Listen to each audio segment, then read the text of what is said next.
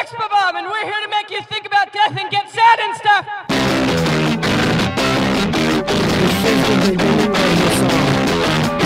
I'm hearing voices